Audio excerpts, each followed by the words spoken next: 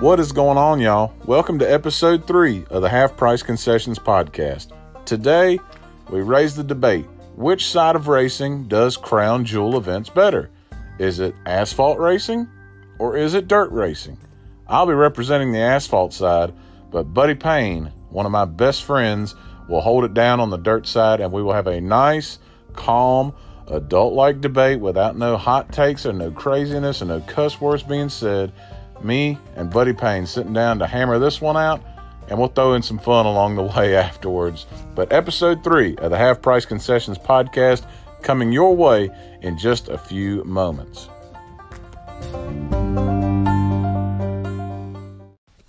Hey guys, have you heard about Anchor? Well, you should. It's the easiest way to make a podcast. First and foremost, it's free. There's creation tools that allow you to record and edit your podcast right from your cell phone or your computer. Anchor will even distribute your podcast for you. It takes all the work out of it. Your podcast can be heard on Spotify, Apple Podcast, and many more. You can make money from your podcast with no minimum listenership. It's everything you need to make a podcast in one place. Just download the free Anchor app or go to anchor.fm to get started.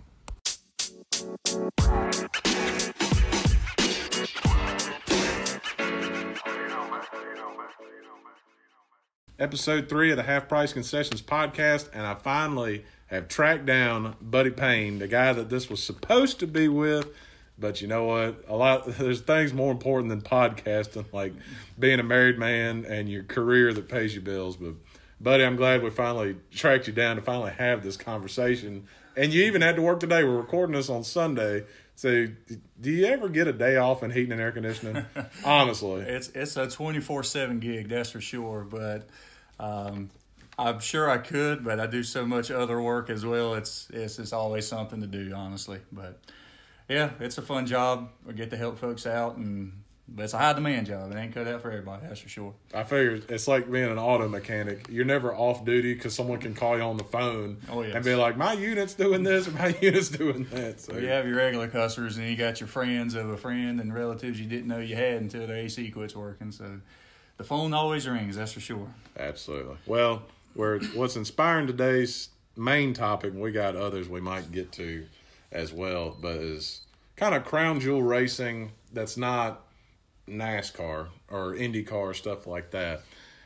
And you're the guy who exposed me to dirt. You've been a dirt fan your whole life, dirt late model racing to be more specific, but we might throw in some other ones as well. I kind of stayed a little more asphalt, but I'm not as plugged in as I used to be.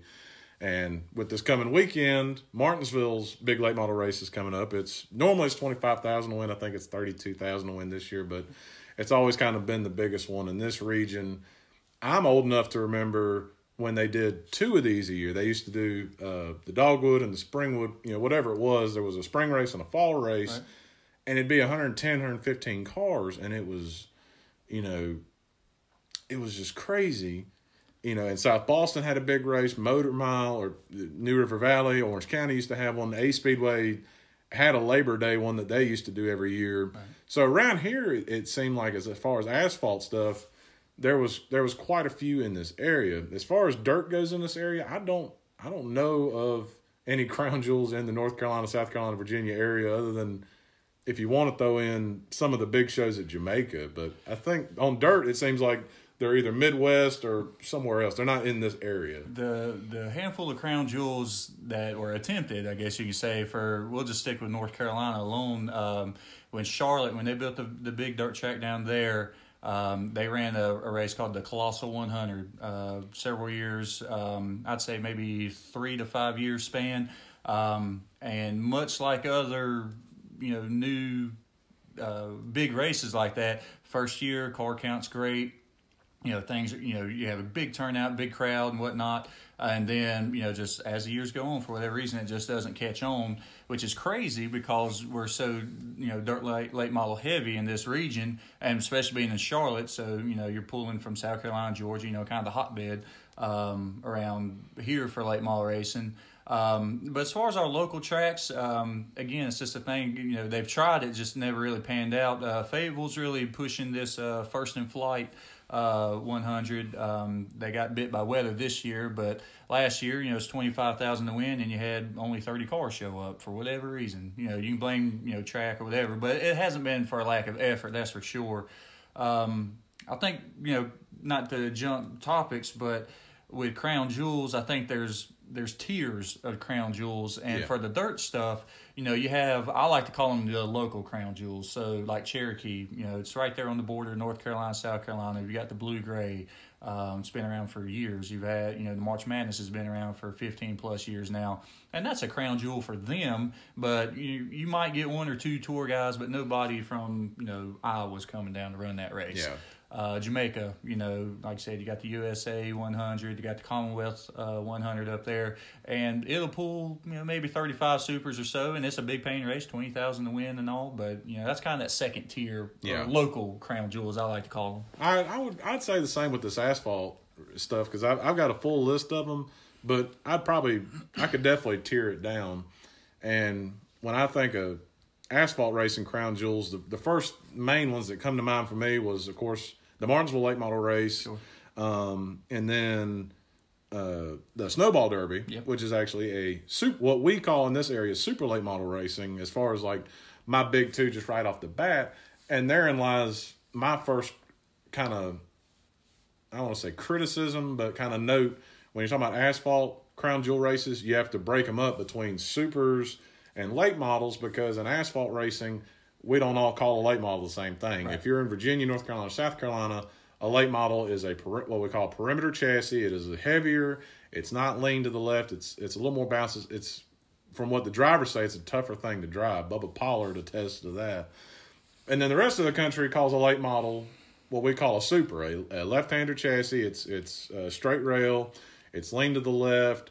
Uh, it turns better. It's got more horsepower, and they have more higher paying races. And I think that's one part that dirt gets right that asphalt gets wrong is a late model crown jewel race in Iowa is the same kind of late model that's running at Eldora. Yeah. So that's that's one kind of criticism I would have to have on my end. Sure, um, and that's the the thing with with the dirt late model stuff is there's you know several sanctioning bodies and very very minor differences uh, with the rules. So you know you can take a guy that runs Lucas Oil and he can make very minor changes and go run World Outlaws or make minor changes and you know go run an Ultimate race or, or a Clash race or something like that. That but we're talking very minor things and it may be something from a droop rule um, to you know your wing pitch, you know spoiler whatever. But Seems like now it's more the aerodynamics. I, I see a lot of it's like, all right, we're gonna let your sail panel be this big Right. on the back end. That seems to be the main thing they're getting them on now. Well, tire, tires is the big thing. I would say probably is you know the, this class only lets you run American Racer. This one you know run Hoosier. But as far as the car itself, you know they're all running the same engine. Uh, they don't have to make any modifications to the engine. Um, and for the most part, you know your chassis are pretty you know interchangeable there between the different sanctioning bodies. Uh, weight is usually about the same, but I mean the stark difference in late model racing is is the engine crate to super. You know, an open motor versus a crate motor, um, and and crates have their you know they're starting to grow with their crown jewels if you want to call them or just bigger money races. Uh, but yes, uh, compared to the, the asphalt stuff, I think it's a lot more uniform. yeah. Yeah. Here's here's one I have for you, just because I did not come from the dirt background. I know there was that time. I don't know if it was the '80s or the '70s when the wedges Right. kind of come in. Was there, from what you know, was there kind of a split between guys running wedges and then like races that were like for those non-wedge cars, or was it just everybody was doing the wedges Uh, as far as the bodies go? it, it really depends on what the sanctioning body wanted, I guess, or, or what what they were allowing because the wedge the wedge cars had a very large advantage over you know what was then uh, what was considered late model was I guess we would halfway classify that as like the old timers like you know Yeah. it's a it's a modified uh, you know sportsman style body you know they just cut the fenders off put bigger fender wheels on it you know things like that you know the engines are obviously got more power and whatnot but um, yeah when the wedge car stuff uh, first came out I think it really started growing popularity around in the early 80s um, with the advantages that they had, they were just faster, they were lighter, uh, handled better. You know, most guys knew if I'm going to compete, I have to run this car. Um, and then It just looked like a race car. it, it, it was a it, it, it was more of a purpose built car versus you know the old school go to the junkyard knock the fenders off put a roll cage in let's go racing um, had the wedge car stuff um, and then th- they didn't they didn't really have a good rule book though so that like the mid 80s man you can see some crazy designs with all the the panels and stuff these guys are running to get all the downforce and whatnot and then really I'd say early to mid 90s is when they really got a good rule book and then everybody kind of copycatted that and then it's grown to what we have today Yeah. As far as we'll name off a few of these kind of crown jewels. I've named off two of mine: Martinsville late model, Snowball Derby. Uh, there's Oxford 250 up in Maine. There's the Winchester 400, the All American 400 at Nashville. And those are mostly the super ones. Some of the asphalt ones. There's Bobby Isaac Memorial at Hickory, the Myrtle Beach race, the Hampton Heat is starting to get there. As far as the dirt stuff, I know you said you have them in tiers, but if you had to narrow down kind of your top crown jewels on dirt, what would be kind of your handful you put in that basket? I think if you were just to ask a dirt late model fan, when you hear the word crown jewel, what's the first thing you think of? I think nine out of ten of them would say the World 100. You know, Yeah. that's that's it's called the granddaddy of them all. You know, it's been around for 49 years. Uh, the purse grows every single year, um, and I've of all the interviews I've ever heard, every single driver says that's the one I want to win, which is kind of crazy because there's better paying races um, out there. But Yeah, the dream at the same the track pays way more. and they'll pull 25 less cars you know and that's just it's crazy and that's where i think you really have to define what crown jewel is um, but just alpha the term alone when you say crown jewel i think world 100 is the first one to, that jumps out um, and then you know you have uh, the dream uh, the Knoxville Late Model Nationals are up there. Uh, Show Me 100, that's a that's a pretty big one. Um, that's that's still pulling a lot of cars. And the Dirt Track World Championship, um, that's one that's bounced around. That's one of the, the rare ones that's bounced around from different tracks, but the prestige is still there, and and it'll still pull you know a slew of cars, you know seventy plus. Um, and now it's paying a hundred thousand win. Forever it paid fifty, and now it's up to a hundred thousand win. So, um, I, I, if if you like had to say the top two, I'd say probably World 100 most definitely, and then probably Dirt Track World Championships probably the second biggest one. The other thing that sticks out to me when we're talking about these two levels of racing is when we're talking on the dirt side, we are talking about the highest level of that sport. Those guys that are doing it for a living. Not not all of them can, but a, a chunk of them are doing it for a living. Whereas on my asphalt side, especially for the late model stuff, most of them are if they've got money behind them, they're trying to get on up to cup Sure. Where their crown jewels were Daytona 500, a Southern 500, and all those. But now that has become so, I hate to say unattainable, but I mean, if you ain't got a lot of money behind you, it, it feels terribly unattainable. Sure. Whereas some of these asphalt super guys, you know, a lot of those, like the Bubba Pollards, the Casey Rodericks, um, Jeff Choquette, Stephen Nasse, those guys, they don't seem like they're going up on. They're they're kind of at that higher echelon of asphalt super racing, and I don't I don't think other than Bubba, I don't know how many of them are doing it for a living, but it's not as many as like the dirt guys. So I think that that makes some difference because those dirt guys like your Scott Bloomquist, your Davenports, and them, that's their job. Right, right, absolutely, and that's so you know that's why they're running you know ninety some races a year. Some of them out there, you know, if there's a race this weekend and and and my my tour race got rained out, if there's something within driving range that pays five thousand more to win, then you know they'll show up, um, and I think that that really bodes well with the fans because it still has that old school you know, blue collar, I'm working. Even you know, they're driving a race car. It's hard to think about that as work, but you know, they're working for a living. You know, um, and they have to compete and they have to you know knock off some top tens and top fives. You know, to make enough money to make it. If you don't have the sponsorship behind you.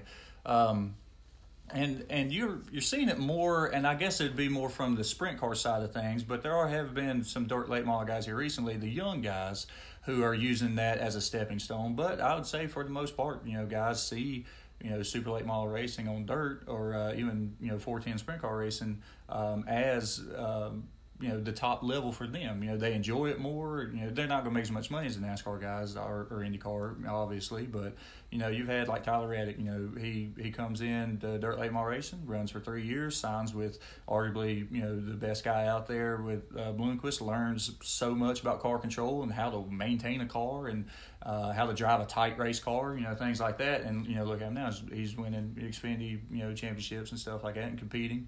Um, then sprint car side, you know, you got your guys like you know your Larson and Stenhouse and whatnot, and that they've used it to pole vault. But I think what I've seen here recently is you know guys get to that upper echelon, and it takes a lot of work to get to where you can compete. And it still um, takes money to get up there. It, takes, it takes money, not, absolutely, yeah. absolutely, and just and not as much as it takes to run NASCAR. That's, that's right, that's right. But once once they get there, a a it's it's challenging enough, and they're making enough money that they're they're content or B, they do make that next step up, and then they realize I was having a whole lot more fun down there, and I was making a living, and you know you're starting to see some guys kind of trickle back down into that. Um, Bryan Clauson had a great quote about that. The late Bryan Clauson, who ran hundred something shows a year, was trying to run two hundred a year. He passed, right. where he said there's other levels of racing that pay more money that aren't but aren't as fun. And he was out there. He was running a midget car for a living. And I've I've heard guys from like Indiana and stuff that run the midgets that run it on a local ish level. They don't they don't go further than two and a half three hours from the house, and even there, there it's it's, it's getting harder. Sure. But they're finding a way to make a living at yeah. it. Whereas asphalt, you'd be hard pressed to find an asphalt late model stock driver who makes a living doing it. Yeah. I mean, honestly, it's yeah. it's not it's not there no more like it might have ish could have been. I know around here, Todd Massey did it for a while, but he was driving for Westcott. Sure. So it's just. Yeah. it's just not there like it is on the dirt side. Yeah, if you got someone footing the bill, you know, no matter what type of racing, yeah, that that definitely plays a, a big role into it. But um, I think now there's so many um, big races. You know, they're not crown jewels, but there's so many big races. You can you can go, you know, anywhere really within two three hours on any given weekend and run for ten grand. You know, that's that that's unheard of you know, 10 years ago. Um, just about every weekend um, from, I'd say, May till really to, throughout the end of the year, there's a 20,000 to win race somewhere. Um, so if you're competitive, you know, you can you can definitely make a living at it. That's for sure. Yeah, I think it'd be a good chance to now kind of look at some of the pros and cons from from both sides of our not really an argument, but I mean just kind of what we grew up in. You're sure. you're the dirt guy. I'm I'm a little more the asphalt guy. And for me, the pros on the asphalt side are there's starting to be some more of of these shows coming out. Uh, Chris Ragle and the Cars Tour did the thirty thousand to win uh, Old North State Nationals at Orange County. Uh, this year they're going to do it again next year, and I feel like I think number one they wanted to give guys another option other than Martinsville in this area to run. And the Hampton Heat at Langley Speedway is is is getting bigger every year. Myrtle Beach still runs. Hickory still runs Bobby Isaac Memorial, and on the on the super side, you know, there's there's a lot of variation. My my two my cons on the asphalt side as far as crown jewels are number one. For the money it pays, a lot of them are you know two three day shows. That money adds up on you know pit passes and gas and tires and stuff. I'm not a big multi day show guy. I understand some events it has to have it, but I love the one day format. I like it as a fan. I also like it for the boys in the pits that, you know, they work full time jobs, they got families and stuff. I'm sure they'd rather just have one day, but I understand the side of it where uh, it has to be more than one day. But, uh, you know, Snowball Derby, I think they're down there for the whole week.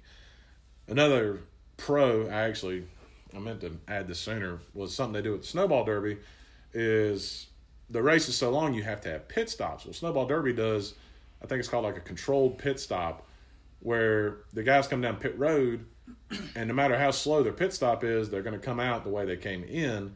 That's to keep them from hiring high dollar pit crews and all this stuff and spending more unnecessary money, you know, and they can still retain position on the track. But my main drag on asphalt, Crown Jewel Racing, they are so long.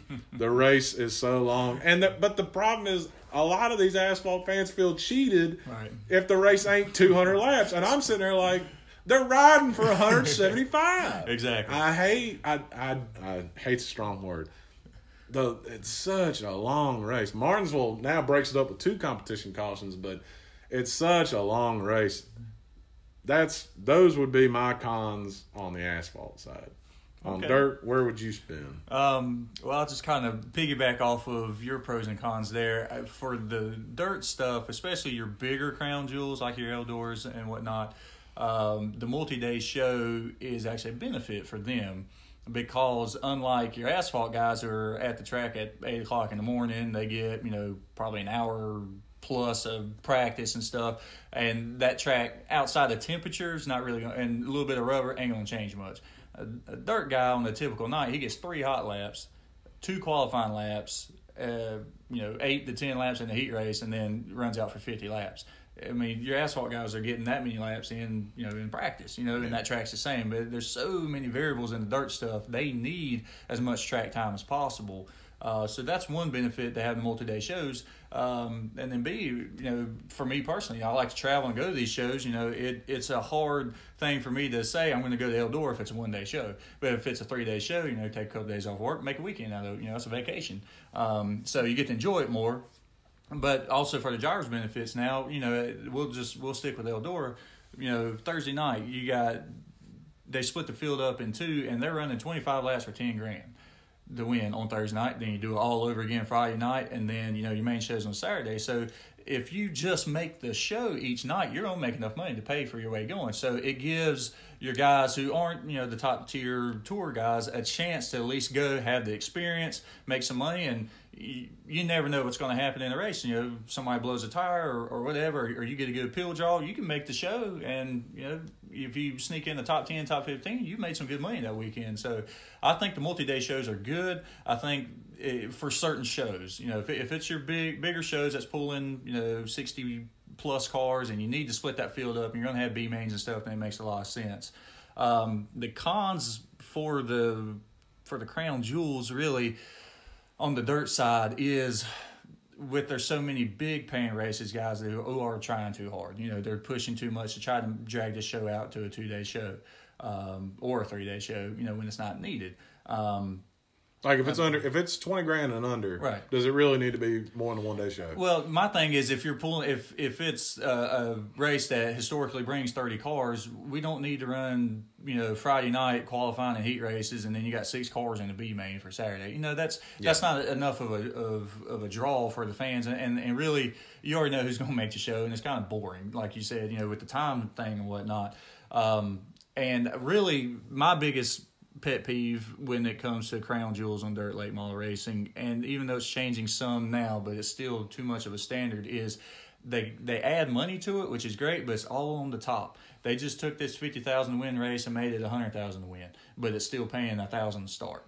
You Yeah. know so your your winner is yeah he's happy about it but you know your guy that's finishing you know 15th 16th he's still making the same show you know the same money.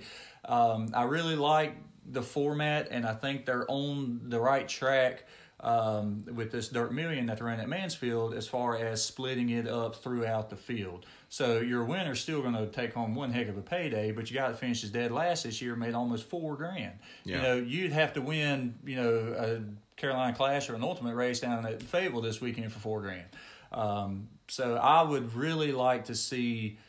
I, I'm I'm glad the money's there. It's it's a healthy. It's, the sport's very healthy right now, and it has a very bright future, and there's a ton of pot- you know potential there. But I really like to see this money divvied out throughout the field. Um, I, I guess this is a pro and a con again, with depending on car count. I'm really starting to like these uh, qualifying features. Um, uh, Fairbury's doing this, um, and I believe um, it was a race this weekend. Uh, might have been a clash at the Mag, where instead of you know doing your heat race and stuff, they qualify and then they split the field and you run like a 25 lap, like a mini feature. Yeah. So you're out there, and it makes for great racing because you know guys ain't, ain't conserving fuel and tires and stuff, and they can burn it down and puts on a great show, and, and that sets up where you start the next night. So guys are trying, and then B, you know, you're winning 2,500 bucks. Uh, You're not just winning placement in a feature to come in the future. You're, Exactly. you're getting a reward for your effort now Absolutely. as opposed to down the road. and you're not you know you're not you know having to appeal draw screw you you know from from your hard work so um I guess to summarize that, the the pros, I do like the multi day shows for the big when it's a big car count. Um, and, and, it just benefits everybody. Tracks make more money, fans are enjoying more, the drivers have a potential to make more money. Um, and then I guess uh, my biggest con is just where how that money is being divided in the payoff purse. Here's, here's one. Do you like the passing points format? That's that's one you see yeah. a lot more in dirt than you see. I don't know of, of, any of these crown jewels on asphalt that use the passing points format because asphalt guys would blow their lid. Asphalt guys, they want to start where they qualified and they do not. This is asphalt culture is just not one where they want a heat race. It's just not. You know, and I I used to I used to bang on them a lot more, but now I'm just like, you know what? It's just a different. It's a whole different culture. Right. Whereas as dirt guys are used to heat racing and stuff, but then you get the passing points right. and you get the big some of the big ones that don't like it. I remember Shane Clanton at Arizona one year. He he flipped his car over, I think, in his heat race, and they were dumb enough to shove the microphone in his face after the man tore his car up. And of course, Shane reacts with emotion and I think says, "Expletive these passing points." yes. I mean, he was upset. Yes. Well, what uh, do you uh, think? Well, this year, uh, I eighty is a great example. They were one of the first tracks to start doing that uh, for the Silver Dollar Nationals. Uh, pays uh, fifty three thousand to win. You know, big money race. Uh, and you know, arguably the top guy in the nation right now, Jonathan Davenport. You know, he kind of um, lit a fire into some folks.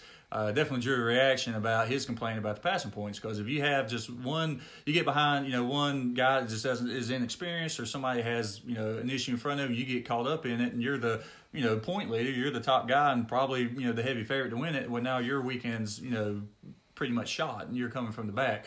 Um, I think it, it only works on certain tracks. It has to be a big enough track and a wide enough track to where if you know your fastest guy is starting on the tail end of the field, he has a way to get around the slower guys without tearing his stuff up. But on tight tracks and you know tracks that just don't produce a lot of passing, I think it's it's I know they're trying to make it exciting for the fans, but I mean, you really have to do take in the guys who are behind the wheel on it. I'm personally not a fan of it. I've never been a fan of penalizing somebody for being good. You know, if a guy comes out there and he lays down a good qualifying lap, uh, he should start on the front row of his heat race. Uh, if you want to do, you know, uh, a redraw of some sort, you know, I think four positions is max. Uh, but you don't need to penalize a guy for working hard and having good setups and putting in the time and effort to be good. I, I think the one that gets it the best is World of Outlaw sprint cars because you heat race how you qualified, and then you top depending on how many cars show up, your top two or three from each heat go to the dash, which is another race to line up the top six or eight for the main event. So, like you said, you're not getting penalized for showing up and laying down a good qualifying lap, and you run good in your heat race. You're going to redraw for your uh, starting position in the dash, but the worst you're going to start in the feature, even if you don't present the car for competition, is sixth or eighth on most of these shows. I, right. I, feel like they get it right on that one. They do, and, and it's kind of contradictory. You know, in my opinion, dirt racing in general, the biggest race is the sprint car Knoxville Nationals. 150,000 win. That's the birthplace of, well, it's the home of sprint cars, not the birthplace. But that is a tough show that, to make. That's a tough show to make. And, their their inverts are ridiculous. Uh, I mean, they, they have the qualifying nights and whatnot. And if you qualify on the pole, it's an eight invert in your heat race. And it's only, I think, an eight lap, maybe a 10 lap heat race. So you're not going to make it through on the transfer there. And they do all the passing points and stuff. But $150,000 to win, you know, we'll let that one slide. But yeah, on the nor- normal circumstances, yeah, a dash or something like that. If you want to just promote some more racing and and have that faster guy behind some of the slightly slower cars, so the fans you know can see some some action. That that's okay, but there there has to be a happy medium there for sure. Here's here's another one I thought of on the way down here, and I bet we'll probably take both sides on this position. I know on the dirt side, a lot of these crown jewels now have gone to sanctioning. They're either World Outlaw mm-hmm. shows or they're Lucas Oil shows. Mm-hmm. Um, I'm sure on the sprint car side, more of them now are World of Outlaw sanctioned on the sprint car side. On the asphalt side, I know there's some sanctioning, but it doesn't quite seem as crazy. A lot of them, a lot of them are end of year shows, and then some of the other ones are just you know they're they're officiated under certain rules. Whereas on the dirt side, it's like more the sanctioning is creeping more into it. Mm-hmm. And I understand them doing it because a lot of these tracks, number one, for a crown jewel race, you got to have the staff mm-hmm. to officiate these races. And you, it's not just Bubba in the tower lining them up. uh, Bubba Jr. on the race director and you know, Bubba the third down there in the pits lining them up. It takes a lot of staff to to just work these events. So I understand why a lot of these events have gone to sanctionings because the sanctioning body brings the pretty much enough officials to get it done. But part of me doesn't like to see it just because like like say Jonathan Davenport goes to let's think of, let me think of one on the Lucas Oil side that's a crown jewel. Would you would you call north south? Yeah, absolutely. He does bad at that crown jewel. Not only is it bad on his personal performance because he's driving for a living, but it hurts him points wise for Lucas Oil Championship.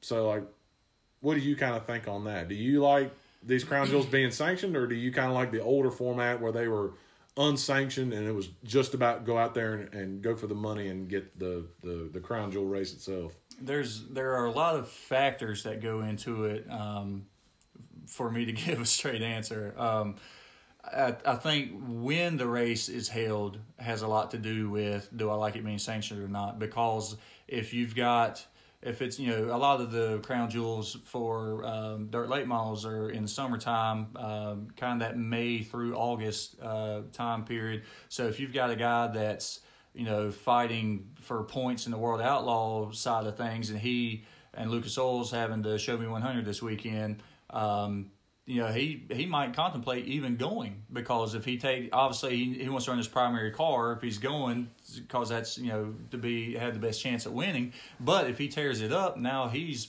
you know screwed out of his world outlaw side of things, um, and you see that a lot. You know, guys will contemplate. Uh, or even if they do show up and they you know have bad luck in the heat and have to run a B main, they'll scratch from the show because they don't want to tear up their car. Um, so, and those kind of instances, I think location has a lot to do with it as well. Um, you know, Show Me 100s right in the middle of the state, you know, right there, um, Missouri area. And so even if World Outlaw guys don't show up, I have enough locals that'll come show and I'll have, you know, 50 cars and I'll be fine. You know, the very early and end of the years, um, I think that's when you know the not being sanctioned really plays a big role into it. Another thing with the sanctioning stuff is uh, you got to have rules. You know, you have to have rules that to is, follow. That's true. Too. So if you if you just put on this unsanctioned show, um, this isn't a crown jewel, but just uh, something for us locally. Um, 311s, you know, running a 10,000 win race here at the end of October, and it's technically unsanctioned. I know the the Schaeffer Oil deal, the Fall Nationals are doing it, but before the Schaeffer Oil started on it, they said they were going to run Lucas Oil rules. So it's not a Lucas Oil race, but they're just following the same rules. So you have to have something in place for. You can't just say unsanctioned and then run what you run because you know you got guys that are running one a car with a droop, not with a droop. You know different things like that. Um, the uh, a good point. Uh, the Virginia race, uh, the USA 100. Um, it it has switched from World Outlaws to Lucas Oil, and when those two guys had it, you maybe have 30, 35 cars. They go to Ultimate, which is more of a regional uh, sanctioning body, and they get 40 plus because these guys. That was, the, that was the craziest thing. You'd have thought the national thing would have got it. Sure. But going to a regional sanction, they drew more. And, and, and they still got Bloomquist and Earl Pearson and some of them to come out there. The big and the big reason and behind having more cars on that is, and I think this is where I don't like it being sanctioned is if it's outlaw or a Lucas Oil sanctioned show, there's provisionals. So your local guy knows I'm really only fighting for a handful of spots here. Versus if there's no provisionals, then you know one through 24, 26, 28, however many they start are open to me. But you know Davenport, your points leader goes in there and he doesn't make it through a heat and a B. Well, he still gets to start the show because he's a tour regular. You know, and I, I there's two sides of that. It's not fair to the local guy because you know he may not be in a position where he can chase the tour, but it's not fair to Davenport either because he made that commitment. You know. Um, the National 100. It was uh, down in Alabama. It was sanctioned for years. Uh, they went to unsanctioned, and car count hurt on that one. So that's one of those rare ones where it kind of hurt a little more. Um, so uh, there's pros and cons to both of it. Um, if it's I love the end of the year. Um, this past weekend was great because World Outlaws and Lucas was off, and there's big paying shows. You know, you got ten thousand at Senoia, you had twenty thousand at uh, the Cotton Picking 100 in Mississippi, and you don't know who's going to show up. Yeah. And that, and as a fan, I used to love that. You know, now I can go on dirt on dirt and see who's going to show up this weekend. But I used to love just going to the sitting in the stands, and when those cars start rolling out for hot laps, you had no clue who's going to be there. Like, oh man, you know, Bloomquist is here or Madden's here, you know, whoever. And that made you excited. And that I like that aspect of it. Um, on these unsanctioned shows, you have no clue who's going to show up, and but I think they fit better at the end of the year because in the middle of the year, the guys who run the tours are running for points, so they have to keep that in mind. It also one big dynamic that goes between the late model stuff and the sprint stuff, and I know I'm a, I'm gonna hang on the dirt just because I'm just a fan. You also have the dichotomy of on the late model side, you have two national touring series. You have World Outlaws and you have Lucas Oil. For a while, you had a third, and then it went away. On the sprint car side, World Outlaws is the only national tour. You have other regional tours like All Star Circuit. You have uh, you know a bunch of these kind of little regional ones, but there's one national tour. Mm-hmm. So that kind of throws an interesting kind of dynamic to it because, like you said, on the late model side, if it's World Outlaws sanction, you know you're going to get just to name a few. You're going to get Brandon Sheppard, Darrell Lanigan. Uh, you're going to get those guys that they pay mm-hmm. show up money. Mm-hmm. Whereas if you go Lucas Oil sanctioning, you're going to get Davenport, Bloomquist, Jimmy Owens, uh, Earl Pearson, and the guys that they pay to show up at every single race. So that, you know, throws a little interesting wrench into it all. But uh, I I forgot on this one the two crown jewels at Eldora, the the the, the World 100 and a Dream. Mm-hmm. They're UMP. Right. That's not that's that's the com- World Outlaws owns that company, but they're not. There's no yeah. There's no World Outlaw points. Right. Or anything like that. Right. Yeah. They are UMP, and and no one really follows UMP points. Um, so that that's one of those rare instances where it works to have the sanctioning, but nobody is nobody gets a provisional. Um, you know, it, it's more open, so anybody can make the show. Uh, yeah. But it is sanctioned, so you have officials there who know the rule book, who um, you know they, they have experience and can handle hundred race cars in the pit area. Um, you know, versus if you just went unsanctioned, you'd have to get a bunch of volunteers and you have to get everybody on the same page, and you would still have to adopt some sort of rule book, or rule package uh, for everybody to follow. Yeah. Another thing I'll throw in on the asphalt side, as far as the late model stock goes, the super stuff, I kind of I like where it's at. There's a lot of unique stuff. Probably the most unique crown jewel I could think of is it's one in Anderson, Indiana. It's called the Red Bud 400. And just in my research for doing this, is a 400 lap super late model race around a quarter mile. Yeah. And obviously, it's quarter mile. There's not enough parking spots in the infield, so they do the pit stops in the infield.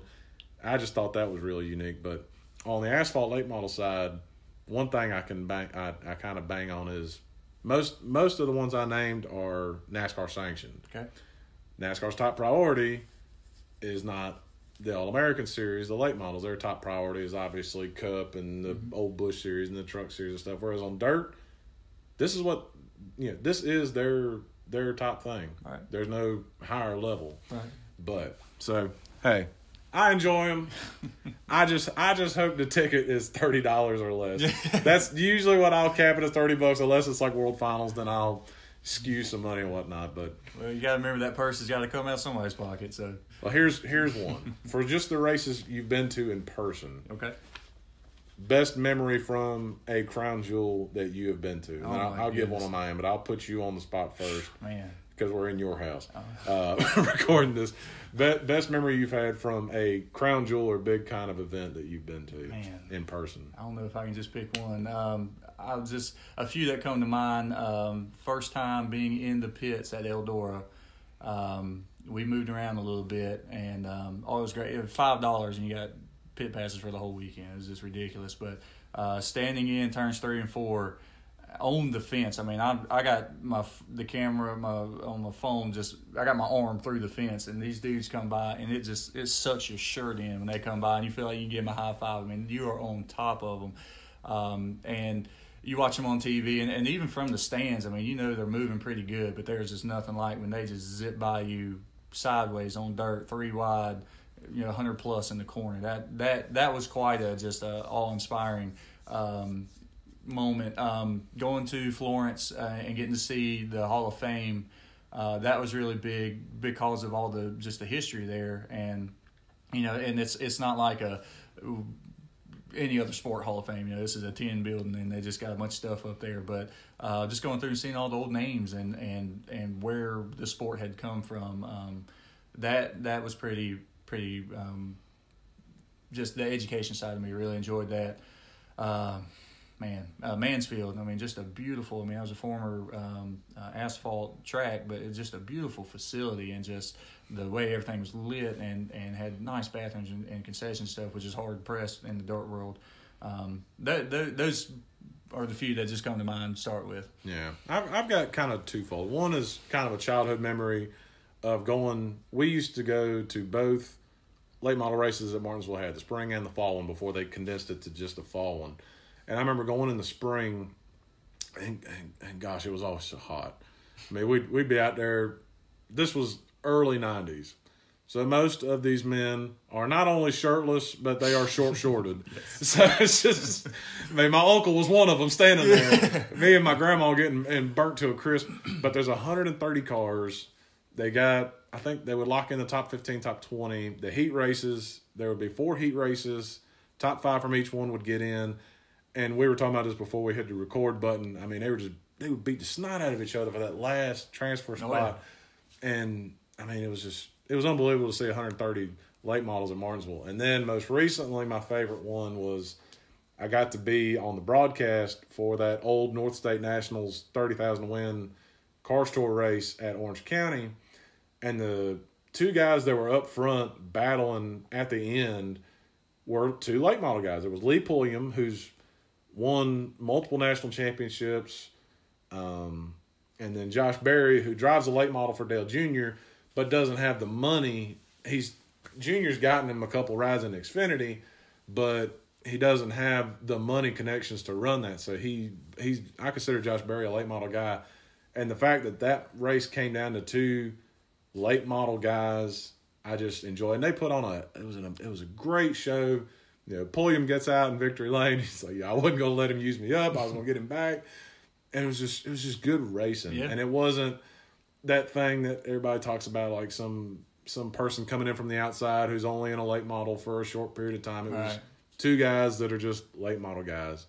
So that would be kind of in my favor. Yeah. But like I told you in the intro, we ain't gonna argue and fuss and cuss and hot take each other to death. That's right. So we'll switch to something a little more lighthearted. You and I have known each other for, God, way too many years. Now Yes. we're in our thirties, and both God fearing Christians in church on a regular basis. Came up Baptist. You came up a little more Baptist than I did because you got it at the house as well. Oh, yes. And we always get to talking about just these kind of funny, crazy things that happened either in church or with you when you was with the gospel quartet running sound.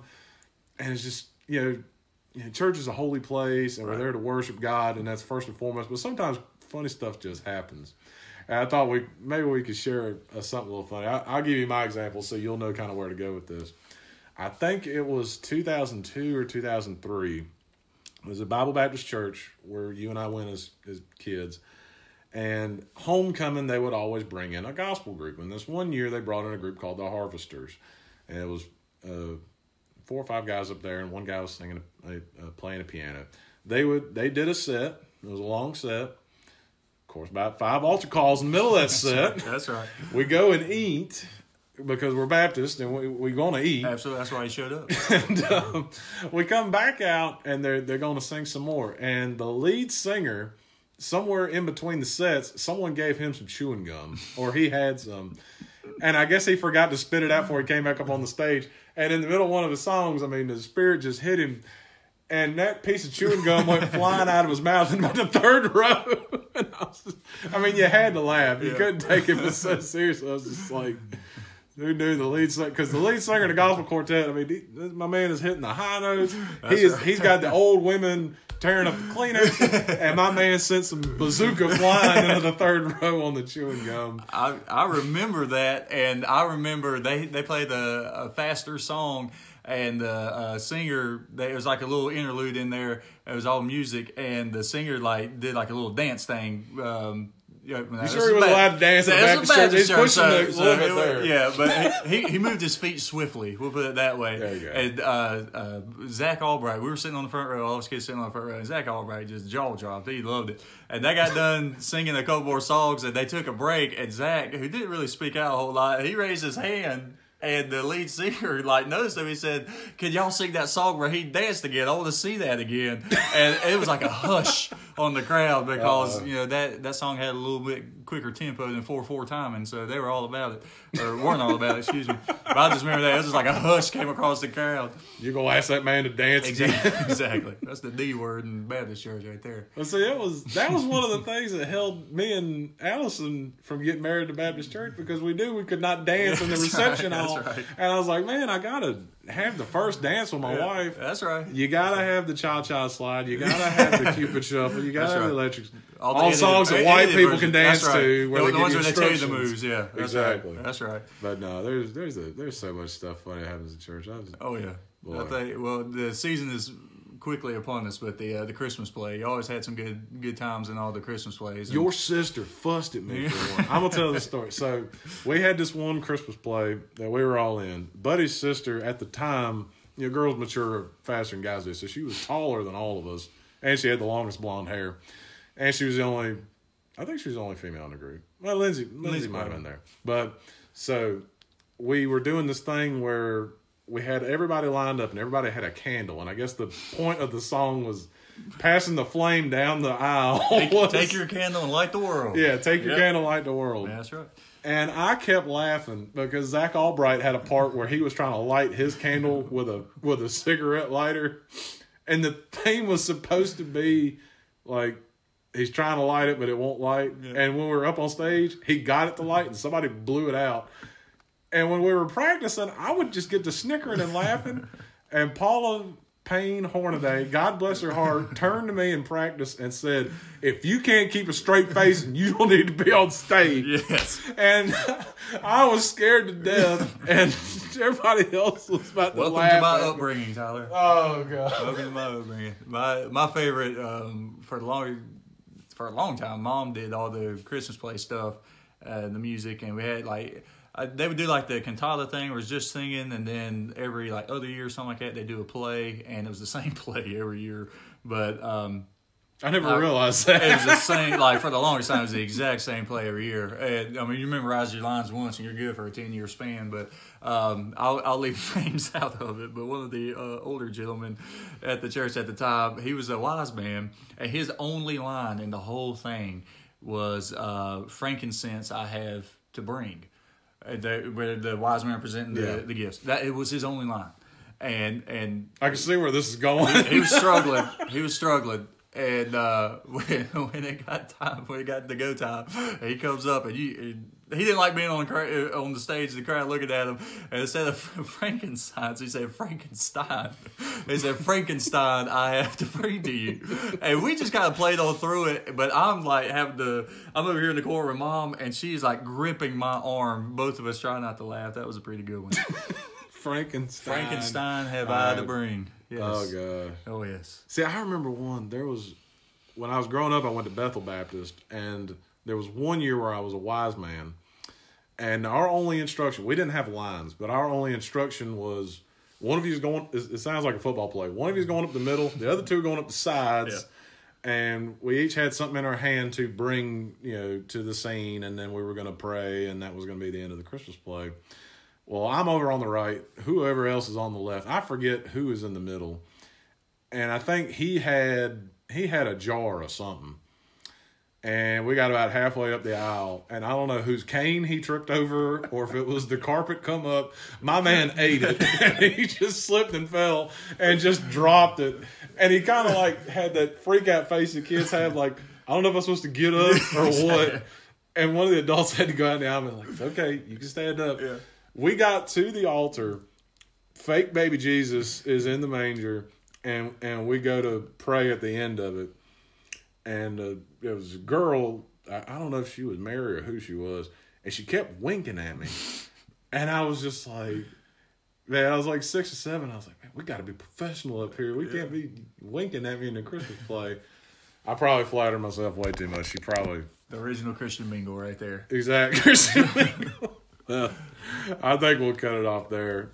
I pray and pray and pray I will get a hold of you more often. Absolutely. When your heating and air conditioning, Yes, hair care, and tire season comes, right, that's right. slows down a tick before the winter comes, and then it'll be back on when the heaters go out. That's right. That's right. But, man, we'll be around. I about to say, I love, I love being with you. We we could talk for two hours and not repeat the same thing, but we had to structure it for this. But uh, I appreciate it, brother. Absolutely, man. All right.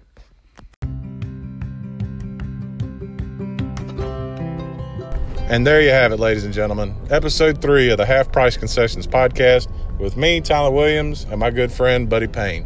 Thank you for listening, and we got more episodes coming up in the coming weeks. We try to get out at least one a week, one every other week.